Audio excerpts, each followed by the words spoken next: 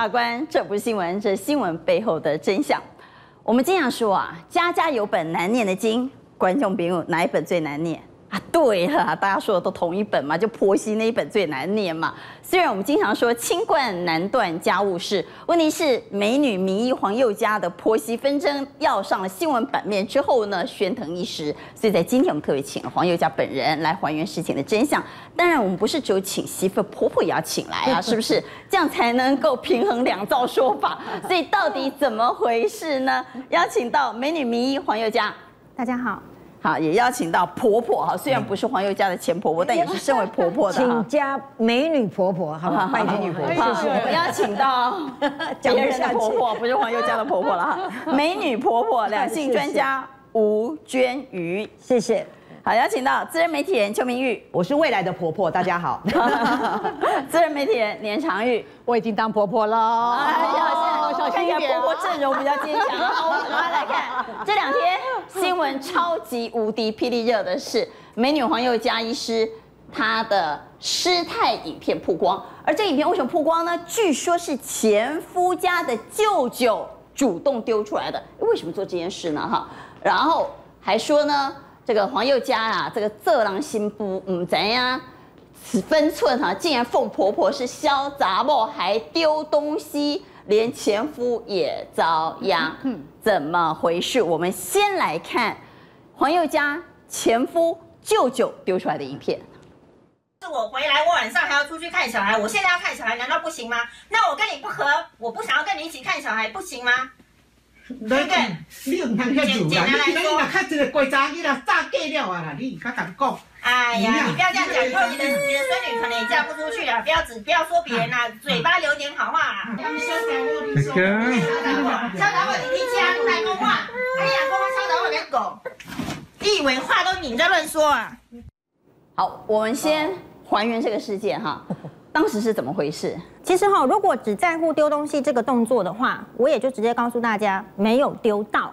好，那如果你愿意是没有丢到，对，但如果你愿意去在乎我为什么要丢，为什么我这样受过教育的女生嫁进去一个家庭里面，竟然会做出那种失控的举动？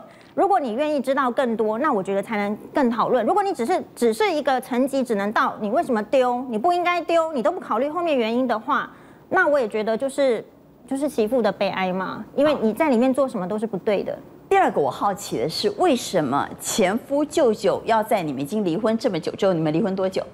我们已经离婚快五年了吧？好，已经离婚五年之后，要把这个前尘往事丢出来呢？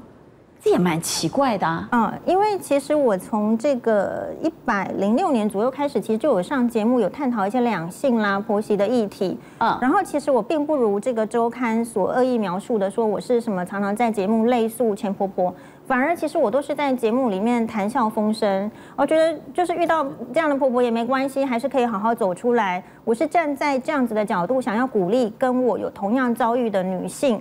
呃，但是他们就说好像可能也没看节目，然后就说我是故意要抹黑我的这个前婆婆这样啊，是因为你上节目，然后这是第一，但是我上节目是很久以前，但是在我的意思说，他的亲戚都来跟我说啊，佑佳，我们都有看上你看节目，你讲的真好，可是他的亲戚说你讲的真好，对呀，然后然后可是问题是，哎，那个他没有那时候没有反映意见啊，但直到我去年的五月。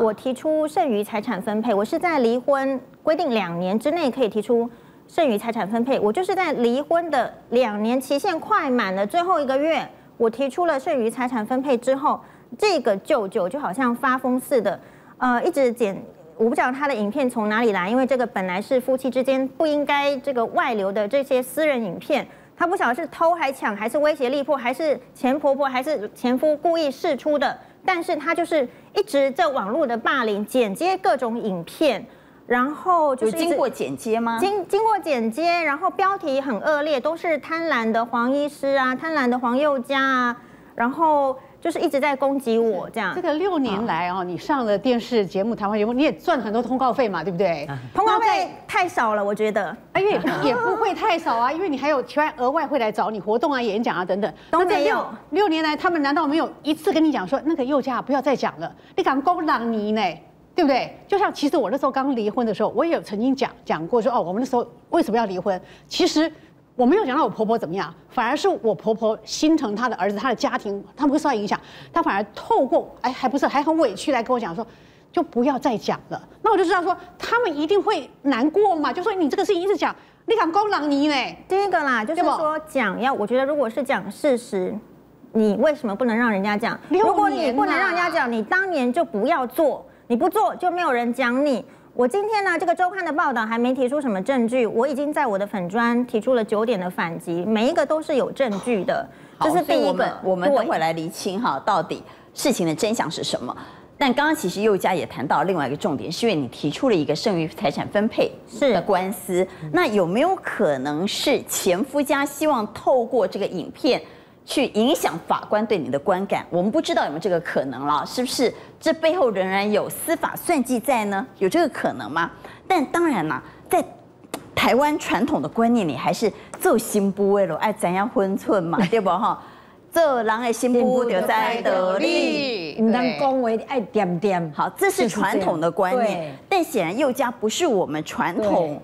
过去刻板印象的媳妇，所以这为什么那么多媳妇会向着他支持他？嗯，因为太多人的声音都被压下去了，嗯，甚至抹掉了，所以他们会很痛苦。而听到有一个人，应该是说啦，我赞同，就是婆婆们或者是比较守旧派传统的观众们，也许你们赞同，就是婆婆说一句话，你不应该回二十句。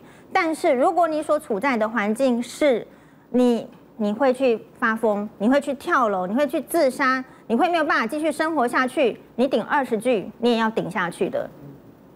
呃，我直接问夫家的控诉，前夫家的控诉，好吧？是前夫家，也就是舅舅控诉哈，前舅舅控诉说你是一个拜金女，你跟老公去欧洲旅游的时候花了非常多钱，老公在你身上至少花了上千万。他说你多爱钱呢，爱到离婚的时候连家里的锅子都要拿走，有没有这回事？哎，说实在，我们离婚妇女就是要省钱呐，可以用的锅子自己买的，为什么不拿走呢？啊，为什么要装大方？难道他自己没有锅子用吗？还需要用我的吗？这是第一个。然后第二个就是说，我觉得他这个提出的问题很好，就是现在的男人是不是离婚了都要把女人打成拜金，他才能够娶下一个呢？是不是把错通通堆到女人的身上？是你拜金，是你这个不好，你你一直我们才会离婚呢？其实我们离婚的妇女是这样子的。第一个拜金，我拜的是谁的金？我百分之九十九点九九九身上所有的东西，我的饰品，我都是自己靠我的辛苦劳力赚来的钱。在婚姻过程中也是吗？婚姻过程中在婚姻过程中，他应该有送过我两个包包包。对，是说有两个香奈儿还有爱马仕那都是我自己买的，我都有这个收据。你自己的钱买的？我自己的钱买的。那你婚纱也是自己钱买的吗？婚纱。对他们，他们想要用日币买的。他们说：“哎，勤俭持家。”请先让我讲完哦。对哦，请先让我讲完哦。就是说，我们这些有钱人，他姑且都不去问说你的钱是怎么赚来的。可是他们就觉得说，像我们这种辛辛苦苦赚钱的人是穷人，就不应该有更高的生活品质的享受。所以你用好的东西就是浪费钱，这是第一个概念。那第二个概念，我想要说明的是。嗯，其实，在这个离婚的诉讼过程中，我前夫花了大笔的律师费来争取，说他这个小孩子的抚养只给只愿意给平民人家一个月一万块的抚养费。那所以呢，还有呢，我们离婚之后，前夫都不告诉我，他就把小孩子的这个健保都退掉了，隔了半年之后才给我一张健保局叫我补缴两个生病小孩子的。这个补缴的费用，所以我是觉得一个以大家可以想啦，一个千亿号称千亿，我不知道他有没有千亿的一个所谓的男人，他对自己的骨血尚且都是这样的锱铢必较，他对于一个老婆或是女人，他真的有可能花到千万吗？我真的想要看到千万的明细。我觉得他是说这个结婚哈，好像花了他很多钱。首先呢，我们这个加拿大的订婚，哎，其实我妈妈说。哎，我们就是一般的人家，我们公证结婚就好了。但是他活到四十五岁才第一次娶老婆，他又是那样子家世背景的人，他一定要办婚宴嘛？那结呃订婚本来应该是女生办，他就是因为他自己要去加拿大打打高尔夫球啊，我又不会打高尔夫球啊，所以我是配合他去加拿大办婚宴。那去加拿大呢？这个礼服也是我自己买的，确实当年买十三万这件礼服我自己出钱呢、去加拿大然后这个妆发也是我自己弄的、礼啊服。我去加拿大。国买这个也就是说这一件这一件是你自己花哎，钱买的我自己买的哦十三万，然后妆发是我自己弄的啊、我去加拿大，我也没有另聘摄影师，没有另聘婚纱师，啊有啦，有找得到啦，只是他们不想花钱吧。然后第二个，你说。呃，因为用贵友美婚纱，对小 S 的贵呃大 S 的贵友美婚纱，听说是百万，对吧？我也听说了，哎，但是我觉得我很好，我勤俭持家，我买的是贵友美最便宜的婚纱，也是总共43是四十五万日日币币，也是差不多嘛跟我自己花在我身上的礼服的钱差不多。而且告诉大家，这讲到这里，我兴致就来了。为什么我需要去买婚纱？是因为我要在台湾办一场婚礼，然后因为他们在泰国经商，他们要去泰国办一场婚礼。结过婚的人都知道，我与其去租婚纱带来带去，这我还不如去买一套婚纱，这个绝对超值。你说好，所以我已经这么的这个帮他算这么的计了，勤俭持家对，可是你知道吗？他还不满意你是在你们认识七天之后，你就跑到医院去见他爸爸，因为他的病重。好，然后呢，你主动的提出要百日之内要完，就是一百一百天之内要完婚，然后认认识二十四天就结婚了，就是一心要嫁入豪门，这个都是错的，这个都是错的。可是是不是他爸爸生病的时候你去看，然后你就逼他百日之内要完婚，就是说。形塑成一心要嫁入豪门，当然。你刚刚一直强调说你是平凡人家，可是你看你婚纱要十几万，要去加拿大哦去订个婚，然后你要去欧洲 shopping 买爱马仕、买 Chanel 这些，哎我的钱为什么勤不能买啊俭持家，对不对？我花我的钱呢、为什么不能买？没有都都没有花到他们一毛钱吗？我说过，他有送过我两个包包嘛，所以如果说这是花钱，当然是花钱。那你如果说旅有没有一心要嫁入豪门？你哎，我跟大家报告一下，其实我为什么会这么倒霉？也我今天也 也没有怪我前同事，是因为我的眼科门诊的同事跟我讲说，哎，佑佳啊，你现在有没有男朋友？如果没有的话，我跟你介绍一个商人，但是哈。他已经五十岁了，而且我们是眼科，他直接告诉我说，他斜视角度有五十度之大是。十五岁啦，还是五？他那时候是四十五岁，嗯，好，现在才五十。对，然后呢，斜视角度很大，你会不会介意？我那个时候其实很好心，我就说，哎呀，有什么关系？我们是眼科医师，怎么可能会觉得人家眼睛就稍微有点状况，就是不不不会认可他，这是不可能的事情，我还是去认识。所以其实我们是透过介绍的，并不是他告诉我说他是豪门，是我去什么场合要去认识他，这是第一个，嗯。那我再追问一下啦，哈，因为讲到秦朔他什么贪财这个部分，这个就是说周刊里面有指控说，那个你有呃婆婆要捐钱给慈善团体，但是你说你不要，干你要捐给慈善的，不能捐给我。那另外还有一个什么上亿的保单，你要求要改成你的名字，有没有这回事？啊，对我第一个哈，其实我不太记得是不是有叫他要这个呃什么善款捐给我。如果有的话，我认为我当时的依据当时的状况来推回去想的话，我认为是因为当时就是很悲惨的，我两个小孩子生出来都是早产儿病重，好，甚至就是说有没有手术成功，能不能过关都不知道。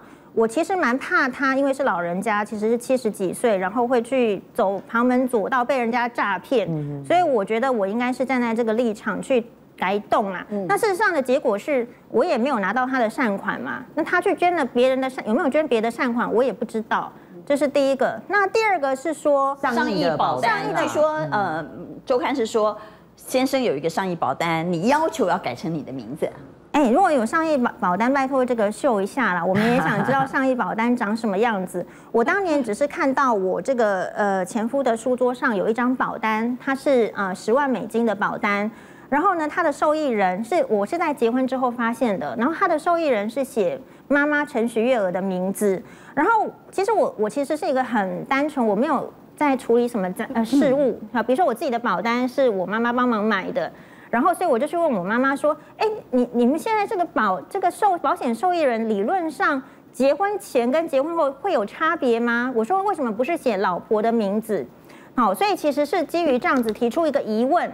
那我觉得台湾人就是这样，提出疑问，人家就觉得你是贪，我也没办法。嗯，好，所以等一下让我讲一下，平衡一下嗯啊。大家现在都觉得你已经得罪很多人，得罪很多我们这些婆婆哈。但但是我私下，我先先请问你，你算是拜金的人吗？你觉得吗？你是吗？哎，我觉得那个所谓的，因为我讲，嗯，你那一天跟我去电视录影，中午我就走掉了，结果你说你要去吃便当，黄医师，你怎么会去吃人家的便当？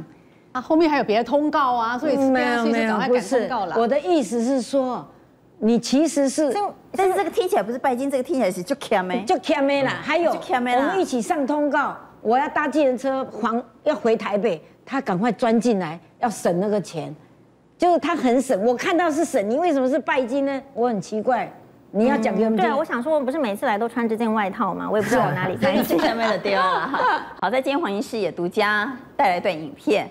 让我们一窥到底他们婆媳之间平常怎么对话。我叫我生，你在叫谁？你阿酱要吃啊？我一个蛋糕叫过来，嘿，你好啊，再去乐色桶里，你叫。啊？你怎么可以把蛋糕丢下去啊？你欺下还下令？为什么你你要把它丢掉，黄友佳？你这一点都没有办法接受吗？啊！你安尼敢跳？王医师，我刚刚看到穿橘色衣服是你嘛？哈，对。然后刚开始那声音是你婆婆。对，这个是怎么回事？这个是一个放在保姆房，就是要这个监视保姆的，或者是说监监察保姆的一个录影机，刚好就录到那一天。呃，我因为只是丢掉一片蛋糕，他可能摆在那，我问都没有人。那因为我的小孩子事实上是吃乳糖不耐受症，他吃蛋糕就是会落腮，我也很怕他突然随便跑过来乱吃。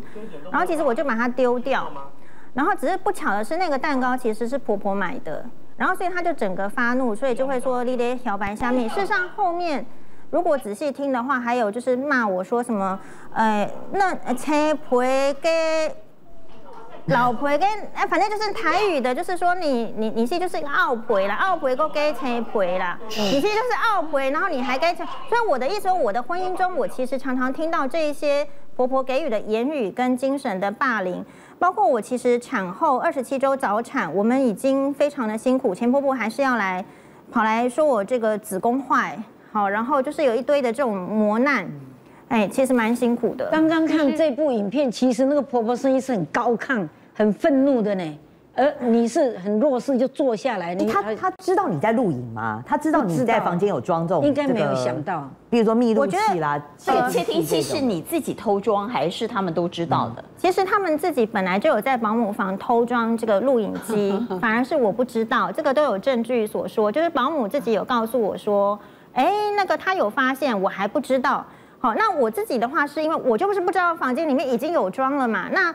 我有跟保姆讲说，我们可能要放一个，万一不在的时候，我们还是可以看一些记录，也提醒他要要帮我们注意。嗯，好，那我那一天其实我觉得我算是捡到枪啦，我 所以其实这是附加装的，对，那你不知道，后来保姆告诉你说不用装了，他们没有这个这个这个这个录影这个密录器是我买的。哦，你买是我买的，是我的，然后是我要放在保这个小孩子的游戏室，那个是小孩子游戏室，我要监看保姆的，我有跟保姆讲，嗯，然后只是说那一天吵架，其实每一天都在吵架，不是他骂我，就是我骂他，两个互吵嘛。你婚姻末期就是这样啊，因为人家要来跟你吵，我就说我不是跟你唱这个我爱我爱你的人嘛，然后他就来吵，吵的话就是刚好被录录音到。然后，所以其实我很开心，我终于有一个证据说我是这样子的被精神、被被言语的这个虐待，不然我卡在那边，我都苦无证据，我到底要怎么离婚？我其实蛮艰难的。那因此我就说，这个像我们等一下还有一个是这个警察的影片，所以我就拿着这个录音、这个密录器，我要就是说作为我这一个证据，好。然后他们还把这个密录器抢走，后来衍生成两个的这个互民事互告案件。那所以其实前舅舅一直攻击我说，我觉得大家都失交了，说什么女生拜金什么的。其实拜金那么多钱，怕什么呢？怕什么呢？你不是说你很有钱吗？你钱就算不给我用，你又怕什么呢？所以其实并不是我如果说真的拜金的话，我就在里面蹲苦熬苦窑啊，我就一直蹲着嘛，蹲着我就可以比较多钱，不是吗？好。那问题是不是啊？我们就是一定有忍耐不了的因素，否则难道我比大家笨吗？我不知道吃香喝辣吗？我不知道要住豪宅吗？我不知道要用里面的佣人吗？我就是没办法呀。对，但是讲到拜，不好意思，我再插一哦下，就是讲到拜金的部分，就是说你自己有讲啊，就是说婆婆送你的耳环啊，什么珠宝的，她要要回去。可是问题是说，你的那个官司偏偏又败诉，所以现在是法法法官认定说你是不能要回去的，是这样吗？对，所以这也是我今天要站出来，很感谢，这是我第一次讨论我们那个珠宝官司案件。其实大家可以看这个后面的，这些都是上家的这个珠宝嘛。如果你当初在跑到加拿大订婚，婆婆亲自给我带上去的这些珠宝，你事后告诉我说，哎，佑佳，我这个只是借你戴，我只是在贵妇面前充派头，这些东西都不是给你的，是送你的。我今天会离婚了，觉得说这是我的东西，而去呃要回来吗？我就不会有要回来这个动作，而是因为我认为一般就算是在普通的人家，也不至于到没有钱。呃，也许有啦，他会去金店去租嘛，但是会就会跟你说，我们租完就是要还回去。那所以以我认定，就是我嫁到这样的人家，应该这个东西没有特别跟我讲，确实是符合民俗上上家的原则才对。所以我会觉得这个东西是我的。然后偏偏呢，这个官司会败诉，我想要教这个全台湾要准备要结婚呢，或者是这个已经。嗯，在在婚姻中注意哦，第一个，你的钻戒呢不要放在保险箱，你一定要戴在手上。你所有的首饰通通最好戴在手上。啊，为什么？因为因为后来你你觉得这些东西上家是送给我的，在这么多人面前见证，都是福伦社有钱的大老板面前见证的这些珠宝，当我要拿回来的时候，其实他为为什么会败诉，是因为呃，检察官认为我没有办法证明当初我是有放进去这个保险箱的，所以你人在关系好的时候，怎么会放保险箱又又又又又来录影，然后又来写一个这个登记？不不是这样子，好所以所以几个关键，呃，你们争执的那个珠宝是他当初呃让你带在身上的那些珠宝，没有，当初这个这个珍珠宝争执的案件，事实上是因为他送我一副珍珠耳环，然后他后来又要耳环是要要回去，不是这一副，这个不是这一副啊，就是有一副珍珠耳环，他说他送给你，对，然后但是他后来又。要回去，然后我就跟我妈妈抱怨说，其实我觉得这样人好奇怪，为什么送人的东西都要要回去？就像我前婆婆后来也是在这个珠宝官司里面去作证说，当初这些东西都是借我带的。可是事实上，我们也有一一系列的明细，就是他他在里面都已经说，这湾上黄宥嘉什么一百万泰币啊，这个这个都有文字，但是为什么检察官都不采信？就是因为他觉，我觉得检察官采取珠宝是放在婆婆的保险箱，是不是？放在应该是放在前夫的这个四楼的保险箱，那个是哦在我因为你们住在同一栋楼我嫁进去之前就有，但是我每次如果要出去要要带的话，得是前夫上去四楼开他的保险箱，我并不知道密码。但我说，就是女生一开始傻嘛，你会相信他是你的良人，你会信任他。我们以为夫妻之间是互信，没想到人家是把我们当贼，所以我们并没有保险箱的号码。所以这件官司，其实我当初在跟律师讲的时候，我就知道它困难。但是困难的事情我还是得要做，我至至少让你知道说你要欺负一个人，要随随便便说这个钻戒是借你戴，你敢说这样子的话，你还是要走法院一遭的。所以我们就是说，看到像他的舅舅这次，因为舅舅出来嘛，他一直在指控你，就说因为你你用试管，然后生了双胞胎之后，你态度一百八十度大好，转变。这个部分我们等会再来谈哈，到底孩子在婚姻里头扮演了什么样的角色？我们等会再来请教黄医师。不过黄医师刚刚有特别谈到，他又带来另外一段影片，是跟家暴有关的吗？对我说，其实真正离婚的原因绝对是家庭的暴力事件呐、好，我们来看，当时有警察到现场，我们来看这段影片。这个阿妈每次都在我面前把我小孩子抱开，我常常这样，你们知道吗？你们不能可怜我吗？这个你们家我一个好好的东西被他抢夺走，现在他说他不是现行犯，那是他说的，我们可以在法官面前说，那没问题啊，这个不用没有问题，争执嘛没。问题啊。那你就我跟你讲，提出申诉嘛。对呀可以提出告诉，半年内都可以提出告诉，因为有对象都可以。哦，不是说对啊，因为你那个有录影机，那个录的也很实在呀、对不对？这个人骂骂了什么话都有录嘛。先跟你做家暴通报。对，好，到底到，因为我们只有看一小段，我们看不太懂到底怎么回事。其实就是那个密录器录到的东西，对我来说实在是太重要了。但是他又偏偏被前夫抢走不还我，所以我也只好就是叫警察来。然后叫警察再来，另外一个就是我常常就是像这样子哦，你他会说就是把小孩子抱住，然后不让我看，就是不让我跟小孩子，我想要抱小孩子说以不爱和你抱啦，他抱了，他就是最大了，他要怎么样就怎么样，所以我一直都觉得在那个婚姻的末期，我的侵权呢也常常被剥夺。然后大家可以看这个房间里面。啊，其实摆了一张床是医院的病床，我们直接买一个医院的病床，没有这个病床，我小孩子是先天食道闭锁，很容易胃食道逆流，根本就难以照顾。好，所以嗯，我觉得我的心力一直都是花在这个小孩子身上，所以他一直在一直在撸我说，哎，这个房间很乱呐，或者是怎么样？我觉得我也是很无奈。大家可以看到里面的这个桌子，其实。也这不是这个了哈，就是那个前夫的桌子上也是乱七八糟的。好，我不知道他为什么只管媳妇不管儿子。然后我真的是都是去医院照顾小孩子。你与其说我脸盆发霉什么的，我就告诉你，我只在乎小孩子的在医院的澡盆我有没有弄干净啦。而且我根本也没有用这个脸盆。啊，那么但是我还是要问一下，你说刚刚那段影片其实已经是 Part Two 了，Part One 是因为他把你的。密录器。趴万就是我们刚刚看到的那个蛋糕，他是骂的很凶。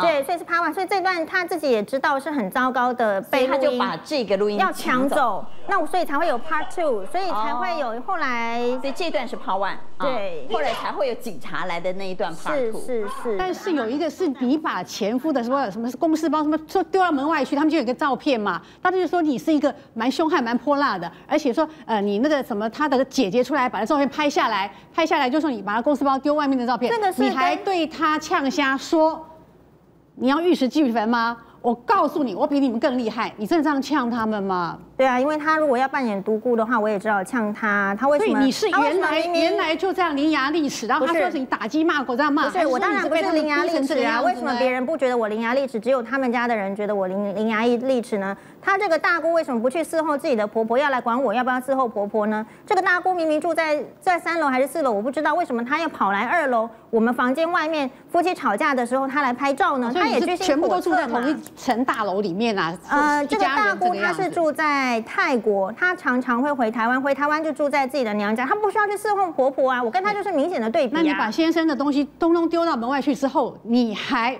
跟你婆婆这样丢东西互丢吗？还是怎么样？没有啦，其实注意一下，就是说哈，你东西丢出去，其实也都是一些杂物书嘛，我并没有丢他贵重的物品，所以其实我在深深入之下，砸到他老人家头砸下去也是没有砸到他，没有砸他，我没有拿书砸，你有没有看到他是在地上呢？我是放在地上呢，我还没有砸的动作啊，不要误会，好，我只是单纯的就说啊，我一定要有发泄。我总不能自己去跳楼，还是去虐婴，还是怎么样嘛？我要发泄，我就把他桌上的书把它丢出去。你们家的小孩子是不是在现场听到哭的声音？哎，小孩子两岁以下都是会哭的，不管你有没有什么 问题。当然，这个环境就是对小孩子不好，所以我才决定离婚。好，我们来听，那他们之间还有过什么样的对话呢？这也是黄医师所带来的独家影片。你要笑杂某嘞？嘿，下面人笑杂某，你给我讲讲一个，你讲我笑杂某是？你给我讲一个啊？你刚刚有，你刚才讲我妈什么？他他说我说我是小杂某，我就说他小杂某嘛。讲我妈。好，到底谁骂谁小杂某啊？当然是他有这个，是不是影片没有截好？当然是他有先骂我小杂某，然后我才骂他小杂某。他有骂婆婆小杂某，他有骂他小。这个婆媳关系里面有一个关键点，我被我看出来了。嗯，就是。他的妈妈在骂你的时候，这个老公没有说骂你就安心姐就带你，反而是跟着就骂你，难怪你的气到现在。而且我看你做到现在，大家都在攻击你，整个社会都在说哇你完蛋了，你还是很镇定。可是我看你眼泪快掉下来，你你还是这么坚强。你为什么可以这样做？是因为你要选择这个婚姻啊，是你自己选择，你要承担婚姻过程中，是我选择这个婚姻，所以我来解决这个婚姻。我是因为婆媳婆媳问题开始，我也可以结束婆媳问题。我要告诉大家，就是女生，你就算嫁错人，遇到不好的婆婆，你都可以结束问题，而不是结束自己的生命。这就是我今天站出来的原因啊！我我可以问一下，那当你和婆婆有言语争执也好，或者有肢体动作？先生刚其实老师说的，先生有没有扮演一个啊协调、所以饼、所所的角色？先生的角色，先生的态度，我们看一段影片。好，我们再来看，也是独家影片。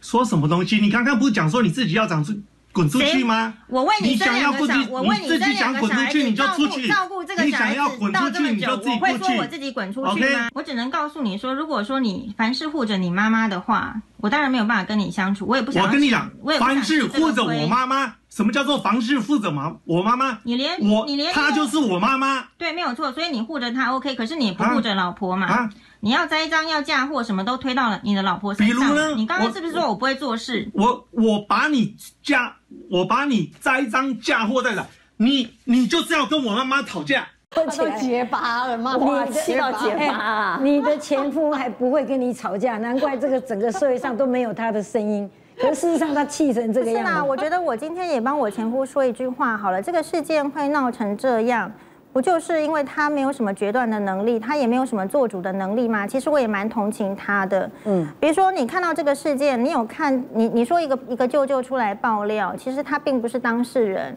好，为什么都是这个？我们没有听到当当事人里面就是舅舅最大，你知道吗？就说像，就比如说你前夫，他觉得他已经没有办法控制你对家运，你没有办法跟你对抗，他舅舅可以帮他们但是。我觉得想过小两口自己出来过生活，不要再跟婆婆住在我一起有我有我有提过，他说如果要出来生活就是离婚，所以我做到了。呃，那我而且当初当初就是说要提离婚的时候，还一直在法院一直一直跟我拖延，都说不要离婚，其实就是拖延，就是更我们更好生活的机会。嗯，哎，阿关啊，我问你一句话哈。所以我们常讲说，夫妻要去合八字，能不能结婚嘛？我觉得以后要做婆媳合八字，合的才结婚，对吧？我们过去经常说孩子是夫妻间的润滑剂，但在佑家的婚姻里，孩子可能是婚姻破裂的导火线。可不可以谈一下孩子这件事？因为舅舅也指控啊，他说其实结婚了一段时间之后，你一直都没有怀孕嘛，但呃那就是先生精子有问题，我怎么怀孕呢？好，但是 呃，我也很苦情啊。生出来的孩子是呃有问题的孩子，所以他就说孩子什么到了七岁都不会算算数，我不晓得整个因为我们是这个二十七周早产儿，早产儿的常见问题就是会发展迟缓，好，所以其实真的是，嗯，没有让他去上幼儿园，也是因为身体就这么差，很容易感染，所以是我自己在教。那私立的幼你有几个小孩？两个吗？两个就是做双胞胎试管婴儿双胞胎哦，，是双胞胎。对，然后是就是自己在教。那那我我我自己其实有 podcast，我的小孩子跟我在 podcast 里面是有互动的，大家听网友听到都觉得很聪明。那只有就是跟他有血缘关系的这个前舅舅会说他 笨，我也没办法。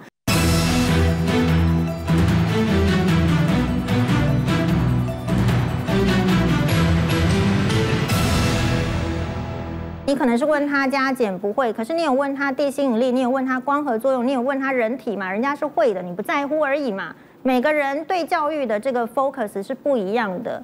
那我的小孩，我知道那两个都有状况吗？就身体的状况？两个小孩子都是每天吃药，只是说我我我觉得我不需要去去跟大家报告说我的小孩子有多多难照顾。如果你曾经照顾过病童，你只要生病一个月，妈妈你就知道了。我们是从出生就住在林口长庚的加护病房，没办法出院。我们的周岁是在医院度过的，你就知道这个小孩子是要经过他自己多努力。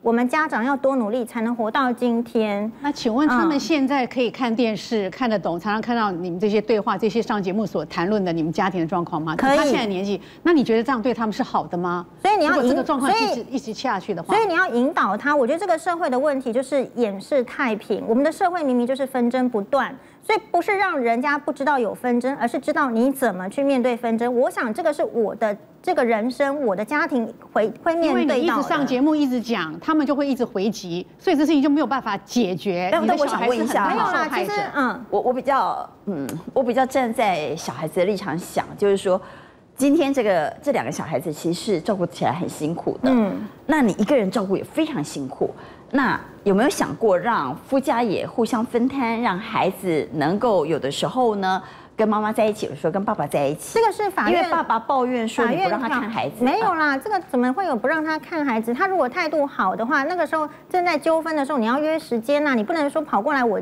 我家，我我人在上班，还是我人在不不方便的时候，你硬要看小孩，那你这个是要霸道，你不是来跟我谈谈怎么样沟通嘛？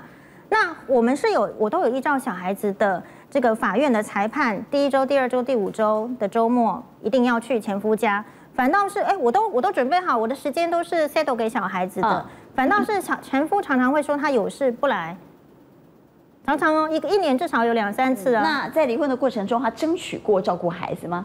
他当然争取啊，但是事实上为什么没有判给他？因为照理说夫家千亿财产，这会不会来干不行？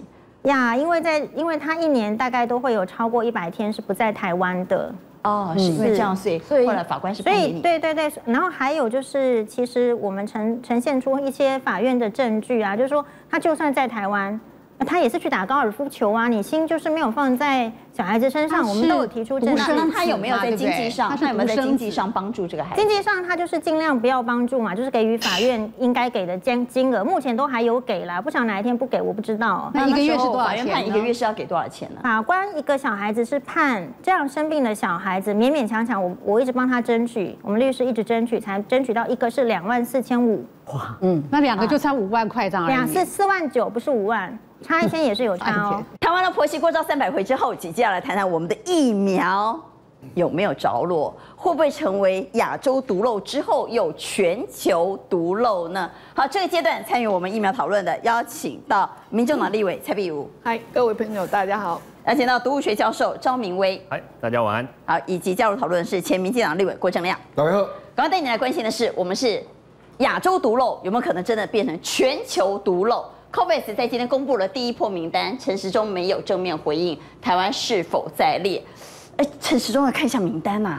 台湾真的没有在上面，我们来看陈时中怎么说。世卫的 COVAX 疫苗，它首波会在二月底左右开始发放，那包括印度、巴基斯坦、奈及利亚等这一些国家。哈，世卫是 COVAX 平台哈，现在已经哦发挥它初步的效效能哈，大概哈在第一季底，啊陆陆续续哈会有这样的事模出来。那因为我们跟他有订有合约在，我们应该也可以分配得到。今天公布三点三七亿。剂的疫苗分配哈，那分到的国家有一百四十五个，整个卫那个国际卫生组织的国家就一百八十五个哈，弄这种几百四十个国国国家分点啊。那我觉得我我我想的对逻辑是下了哈，我就想说应该是疫情最严重、最穷的国家嘛，对不对？不是啊，事实上不是嘛，因为疫情轻的，比如说越南，越南人口九千五百万，啊，喜这雄他的确诊人数不到两千。他跟台湾是一样轻微的哈，好，越南有，可是越南就拿到四百八十八万，好，哦，那另外就是说，我们说有钱国家应该不要透过 COVAX 嘛，应该透过商业采购嘛，对不对？一个加拿大，加拿大一个人拿到不知道人口不知道几倍了啦。加拿大呢，以他们自己买的，不是 COVAX 分配的啊。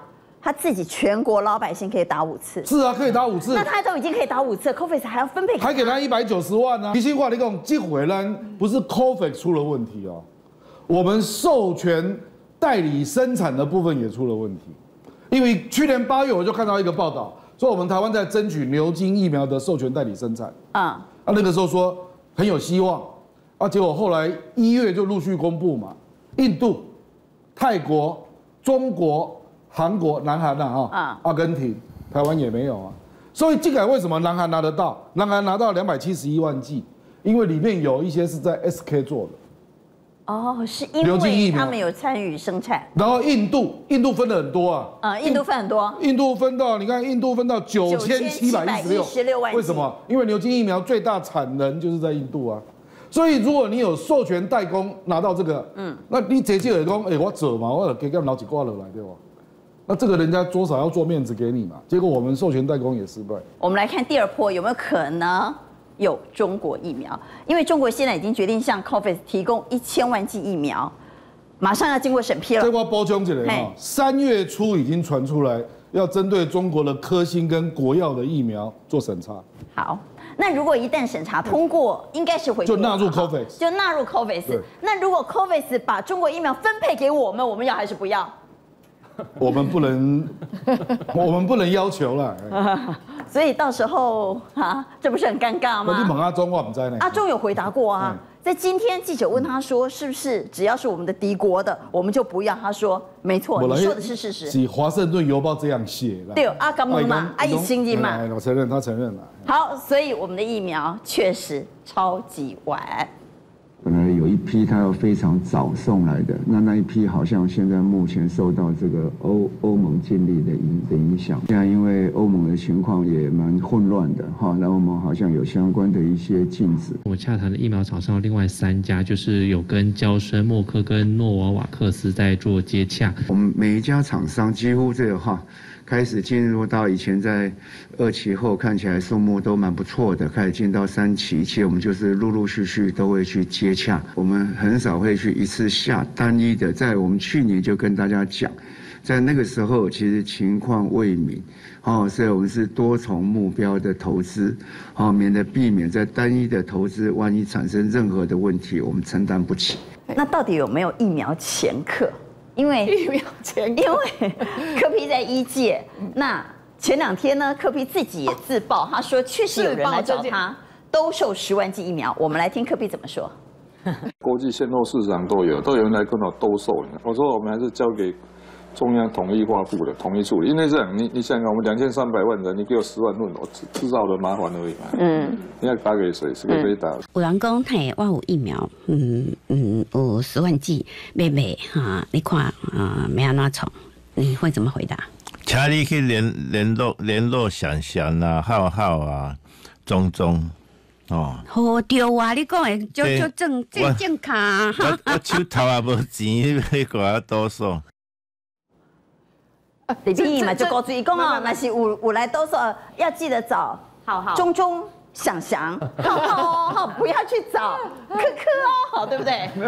这这这个，我想医界的应该都知道，我们在医院里头工作哈，其实会有很多新的药厂、新的医材厂的的厂商会来跟我们介绍新药、介绍新的医材。我觉得这个在医院在医界里头，这个是比较常见的，所以。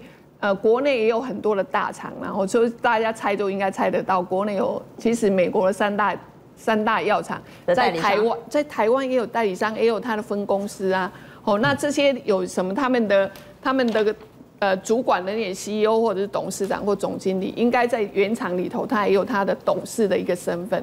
那这些就好像我家公司，我生产一个东西，董事跟董事长一定有身上一定有一些扣打，比如说买十送一之类的，就是这类似伴手礼的一个概念啊。所以基基本上依照问题本也行，常常会有人来。这可能是当初以本身个人的扣打了，对吧啦？对，那那会会不会不要讲说什么前客来跟科皮兜售？因为还我我想这个还是很专业的一个一个个人的扣打。恭喜在武重并不卡赫嘛，对吧？问题问题问题是为什么呢？啊，中中也可以去找科科问说，哎，你哪里可以买得到？不不不，我相信他应该也知道，因为之前联合报不是礼拜一还就就就出来说，哦，有个十万剂的疫苗吗？我相信也是同样的一个管道然后只是只是现在就困扰，就是说，你如果这个扣达只有十万剂，那他让他进来，第一，我们的食药署有没有要要要证登记的？他事实上，他还是要根根据这样的一个程序。如果他没有让他那怎样，疫疫情指挥中心让他特特殊管道进来，问题是进来之后，好，这十万剂要打给谁？医护人员啊，医护人员问题是我们的现场的医护人员恐怕不是十万人，三十三万，三十三万。那所以你要分配要先给谁打？这个就是刚科比讲，这就变成他的困难。如果要打两剂的话，应该至少要六十六嘛。对，啊，所以就是你进来了，其实也是不知道要分配给谁。问一下教授，来，现在有谈到，呃，牛津疫苗接种三个月之后保护率达到七十六 percent，甚至如果即便你量不够，只接种一剂，保护力也不错。对，其实我们目前拿不到这个疫苗，但是我觉得其实并不是非常糟糕的事情。大家你看。这个有效率达百分之七十六，而且只要一剂就可以到七十六趴。对，其实我们按照之前的这些报道，还有我们之前看到的资讯，其实是九十五趴哦，不是七十六趴。对他现在是说一剂七十六。对，但是问题就在于说，我们打疫苗的时候最在乎的是什么？有效性跟安全性。但是现在我们发现到说，这一个七十六趴这个数字呢，是根据上个礼拜发表在一个很有名的期刊叫做。次洛针的这个期刊上面，他所刊出来的这边呢，他写出来了很多很多的这个数据，对不对？嗯。但是这个数据呢，我们可以看到，我们先讲一个正向的。正向的就是说呢，哇，他们在这个整个时间表里面，我们就看左边这一个表格，看起来数数字非常的多。可以看到这个呢是这个时间，代表说什么？打了第一针之后，打了第一剂之后呢，再打第二剂的。中间相隔的时间，哦，这是相隔时间。对，像比如说打了第一剂之后呢，然后第二剂再隔了六个礼拜再打进去，然后再隔了这这一条呢，就是隔了十二个礼拜再打。然后我们看到中间这边我们都可以忽略，因为这数字太多了。我们只要看中间这一条，这一个这个数字，哎，在这个地方，我们只要看到说打六在六周之后呢，打了第二剂之后，它的效果，哎。增加了这么多，二二二二，这个是它增加的这个抗体的数字哦，二二二二，对比原七三，对比原来的这个只有四八四八四百八十一个抗体要来的多这么多倍哦，哎，这是听起来是好事，对不对？对。但是呢，我们再看，如果说第一季打完的第二季隔了十二周的话再打，我们可以看到它是六万三千一百八十一，它是它的三倍。所以大家可以看到，说他在这个时候就可以明确的知道，我们打第二剂之后，它的时间会是在隔十二周，对，隔久一点比较好。然后那，但是问题就在于说，这个报告目前又被人家踢爆说，它实际实际上是这个药厂呢偷偷做这个实验，因为你可以看到这边这个数字跟这边这个数字，哎，大家都是六到十二周，六到十二周，哎，那都一样，为什么会有两个表格？这个它是偷偷做的。他把这个剂量呢偷偷减半，他不让这个受试者一千五百名的受试者知道说他偷偷减半，所以你说这个国外大药厂都常常会做一些那种很奇怪，让我们无法想象，然后又他减半之后的效果，对，减半后之后的效果呢？哎，发现结果也还不错呢。结果后来发现，哎，他这边六万多，对不对？这边也是六万多，也是六万多，而且还反而比较高，反而比较高。对，所以但是它问题不是在于说它的效果，而是在于说他偷偷做，他没有让这个受试者签名，他就偷偷做。那是程序的问题，但是我想民众更关心的是结果。没错，所以所以如果我们第一季打完，再打第二季要隔久一点，那第二季呢，即便剂量不够打一半也没关系，因为它的抗体产生的数字还是很好。没有错，没有错。所以它这个结果其实告诉我们，其实是正向的，只是后面有一些负面的消息在这里面。好，好，那我们看到除了。呃，疫苗之外呢，现在有新的报告说，单宁虽然可以抑制新冠病毒。对，因为这个研究呢，其实我觉得出来的时间刚刚好，因为我们说实在话，台湾目前就真的拿不到疫苗，所以那有没有什么样的方法可以让帮助我们去对抗这个 COVID-19？那单宁酸它是一个很好的东西，那这个东西本来它就是用来做抗癌的药物，它用来抗这个前列腺癌的，但是呢。这个东西也是刚好我们台湾的中国医大做出来的这一个新的结果，它就告诉我们说，这个东西呢，它可以很明确的去用来对抗这个病毒，让它不会去攻击我们的细胞。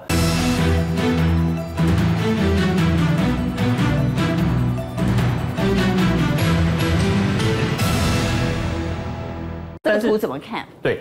单宁酸它的概念跟疫苗不一样哦，疫苗是它进到我们身体里面去之后，它会产生抗体，用来预防去对抗这个病毒。但是单宁酸呢，它是病毒已经进到我们身体里面来了，它进来之后呢，然后我们有了单宁酸的话，我们可以去对抗它，让这个病毒呢，它不会去攻击我们的 ACE 二的这个接收器。好，所以这个颜色的不同，它所代表的是它这个颜色不同呢，就是告诉我们说这一个。剂量就是这个是剂量，对不对？大家看得出来剂量，红色这个是低剂量，然后这个浅蓝色的是一个高剂量，二十五。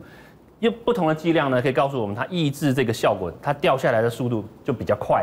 哦，剂量越高，剂量越高，抑制效果越好。那抑制的地方呢，就在于说我们让这个病毒进来的时候，哎，不要让它靠近，然后让它完全没有办法去感染我们的细胞，这样子病毒它就不会进到我们身体里面散产。产生那平常我们是多吃这些水果吗？对，单宁虽然是香蕉、葡萄、柿子，含量很高吗？对，含量非常高，而且还有一个就是红酒，但是当然还是酒，但不要喝太多了，因为副作用比较多。但是哦，不用为了单宁酸就一直喝一直喝哈。对，